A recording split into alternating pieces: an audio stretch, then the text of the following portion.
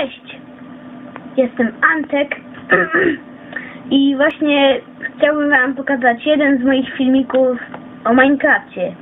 Dzisiaj właśnie chciałbym wysadzić tą oto chłodnię, którą się nastarałem aż jeden dzień w Minecrafcie. Więc zaczynamy od podsadzenia, podsadzenia dynamitów.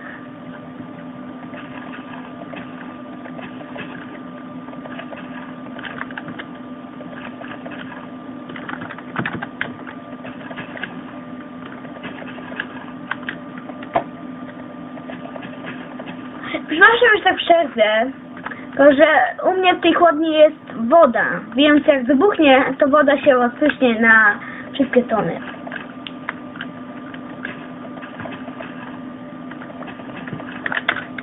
Teraz odpalamy dynamit.